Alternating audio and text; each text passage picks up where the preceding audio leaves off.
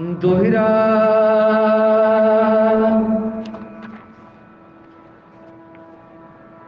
ਥੱਥਾ ਆਖੇ ਥੱਕੇ ਨਾ ਜੋ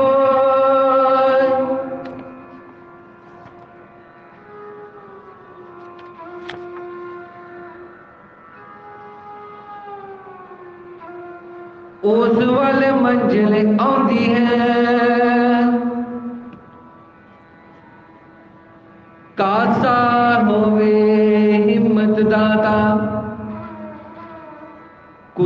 ਕੁਦਰਤ ਮੋਤੀ ਪਾਉਂਦੀ ਹੈ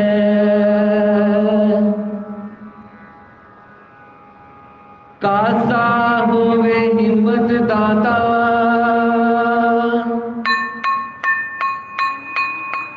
ਕੁਦਰਤ ਮੋਤੀ ਪਾਉਂਦੀ ਹੈ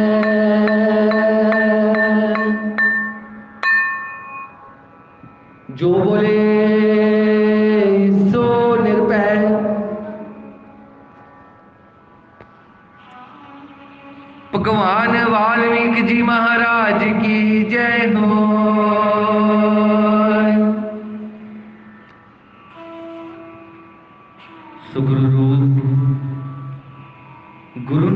ਸਾਧ ਸੰਗਤ ਜੀਓ। ਸੱਚੇ ਪਾਤਸ਼ਾਹ ਸਤਿਗੁਰੂ ਗੁਰੂ ਗਿਆਨਾ ਜੀ ਮਹਾਰਾਜ, ਜੋ ਸੇਵਾ ਲੈ ਰਹੇ ਨੇ 35 ਅੱਖਰੀ ਦੀ, ਇੱਕ ਇੱਕ ਅੱਖਰ ਦੇ ਰਾਹੀਂ ਸਤਿਗੁਰੂ ਗੁਰੂ ਗਿਆਨਾ ਜੀ ਮਹਾਰਾਜ ਸਾਨੂੰ ਉਪਦੇਸ਼ ਦੇ ਰਹੇ ਨੇ। ਅੱਜ ਦਾ ਅੱਖਰ ਥੱਥਾ ਥੱਥਾ ਆਖੇ, ਥੱਕੇ ਨਾ ਜੋ। ਉਸ ਵੱਲ ਮੰਜ਼ਿਲ ਆਉਂਦੀ ਹੈ। ਕਾਸਾ ਹੋਵੇ ਹਿੰਮਤ ਦਾਤਾ ਕੁਦਰਤ ਮੋਤੀ ਪਾਉਂਦੀ ਹੈ। ਪਾਵਨ ਸ਼੍ਰੀ ਜੋਗ ਸ਼ਿਸ਼ ਦੀ ਬਾਣੀ। ਪੁਰਸ਼ਾਰਥ ਹੀ ਦੇਵ ਹੈ। ਤੇ ਸੱਚੇ ਪਾਤਸ਼ਾਹ ਸਤਿਗੁਰੂ ਗੁਰੂ ਗਿਆਨਾ ਜੀ ਮਹਾਰਾਜ, ਸ਼੍ਰੀ ਆਦਿਵਾਸੀਆਂ ਦੇ ਕੌਮੀ ਗ੍ਰੰਥ ਸਾਹਿਬ ਗਿਆਨ ਪ੍ਰਕਾਸ਼ ਜੀ ਮਹਾਰਾਜ ਜੀ ਦੀ ਬਾਣੀ ਵਿੱਚ ਸਾਨੂੰ ਸਮਝਾਉਣਾ ਕਰਦੇ ਨੇ।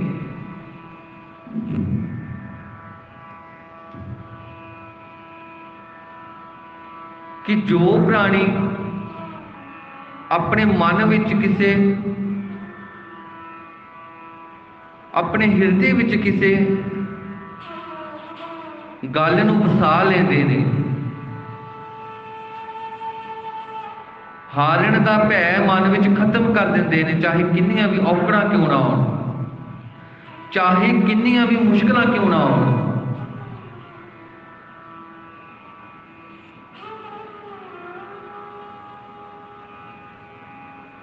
ਹਮੇਸ਼ਾ ਹੀ ਮੰਜ਼ਿਲ ਉਹਨਾਂ ਦੇ ਵੱਲ ਵੱਧਦੀ ਹੈ।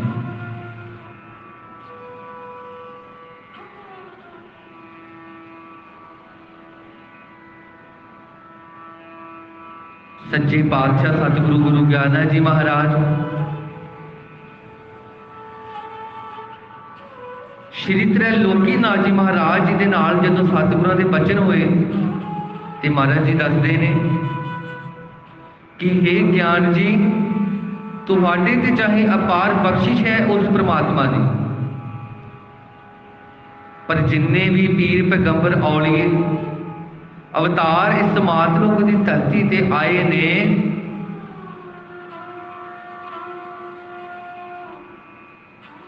ਸਭਨਾ ਨੂੰ ਗੁਰੂ ਬਣਾਉਣਾ ਪਿਆ ਤੇ ਜੀਵਨ ਗੁਰੂ ਤੋਂ ਬਿਨਾ ਅਧੂਰਾ ਹੈ।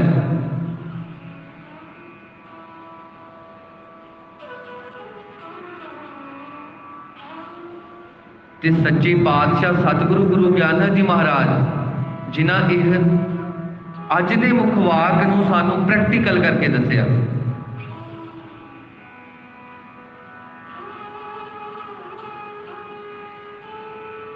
ਮਹਾਰਾਜ ਜੀ, ਜਦੋਂ ਹਰਿਦੁਆਰ ਤੋਂ ਨਿਕਲ ਪਏ ਆਪਣੇ ਗੁਰੂ ਦੀ ਪਾਲ ਦੇ ਲਈ, ਕੰਡਿਆਲੇ ਜੰਗਲ ਸੁਮੇਰ ਪਰਬਤ, ਅਯੋਧਿਆ, ਗੋਕਲ, ਕਾਂਚੀ ਮਾਨ ਸਰੋਵਰ ਝੀਲ ਅਨੇਕਾਂ ਜੰਗਲਾਂ ਵਿੱਚ ਹੁੰਦੇ ਹੋਏ, ਅਨੇਕਾਂ ਹੀ ਜਗ੍ਹਾ ਤੇ ਹੁੰਦੇ ਹੋਏ ਆਪਣੇ ਗੁਰੂ ਦੀ ਭਾਲ ਕਰ ਰਹੇ ਨੇ।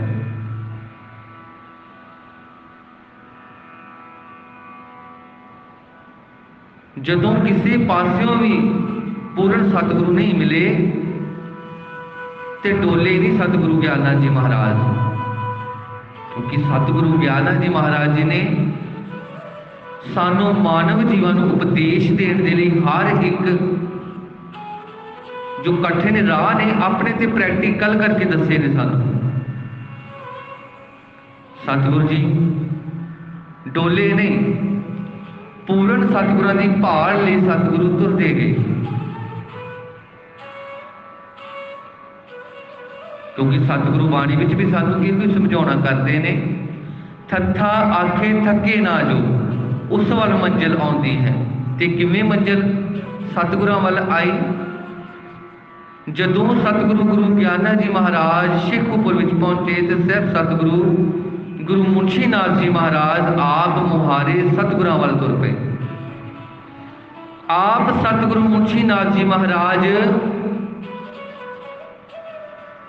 ਸਤਿਗੁਰੂ ਗੁਰੂ ਗਿਆਨਾ ਜੀ ਮਹਾਰਾਜ ਜੀ ਨੂੰ ਮਿਲਣ ਦੇ ਲਈ ਅੱਗੇ ਖੜੇ ਹੋਏ ਨੇ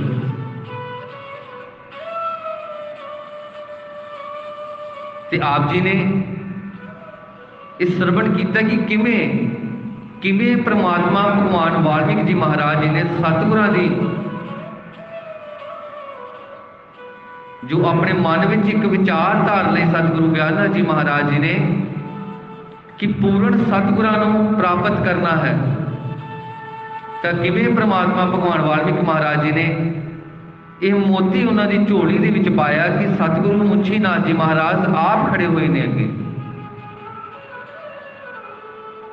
ਤੇ ਜਿਨ੍ਹਾਂ ਦੇ ਕੋਲੋਂ ਸਤਿਗੁਰੂ ਗੁਰੂ ਗਿਆਨੰਦ ਜੀ ਮਹਾਰਾਜ ਜੀ ਨੂੰ ਸ਼ਬਦ ਗੁਰੂ ਦੀ ਦਾਤ ਪ੍ਰਾਪਤ ਹੋਈ।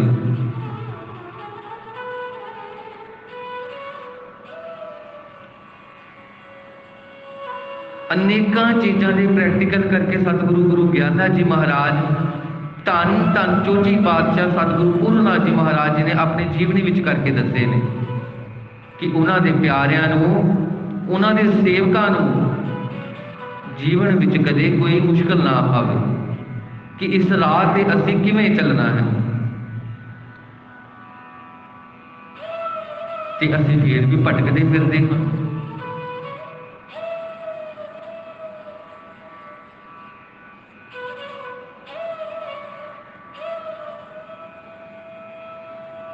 ਮਨ ਦੇ ਵਿੱਚ ਇੱਕ ਸੋਚ ਬਣਾ ਲਈ ਸੀ ਸੱਚੇ ਪਾਤਸ਼ਾਹ ਗੁਰੂ ਨਾਨਕ ਦੇਵ ਜੀ ਮਹਾਰਾਜ ਜੀ ਨੂੰ ਮਿਲਣ ਦੀ। ਸ੍ਰੀ ਗੁਰੂ ਅੰਗਦ ਦੇਵ ਜੀ ਮਹਾਰਾਜ ਜੀ ਨੇ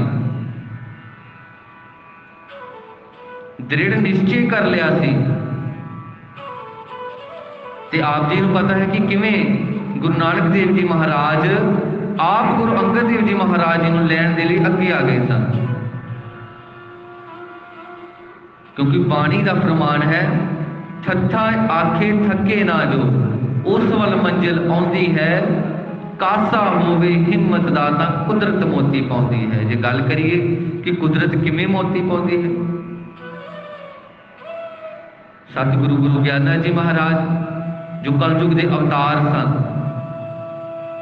ਜਿਨ੍ਹਾਂ ਦੀ ਅਪਾਰ ਬਖਸ਼ਿਸ਼ ਕੀਤੀ ਪ੍ਰਮਾਤਮਾ ਭਗਵਾਨ ਵਾਲਮੀਕ ਜੀ ਮਹਾਰਾਜ ਜੀ ਨੇ। ਤੇ ਗੁਰੂ ਅੰਗਦ ਦੇਵ ਜੀ ਮਹਾਰਾਜ। ਕਿਵੇਂ ਉਸ ਪ੍ਰਮਾਤਮਾ ਨੇ ਉਹਨਾਂ ਦੇ ਬਖਸ਼ਿਸ਼ਾਂ ਕੀਤੀਆਂ? ਗੁਰੂ ਨਾਨਕ ਦੇਵ ਜੀ ਮਹਾਰਾਜ ਜੀ ਦੇ ਘਰ ਦੇ ਮਾਲਕ ਬਣ ਗਏ ਗੁਰੂ ਅੰਗਦ ਦੇਵ ਜੀ ਮਹਾਰਾਜ।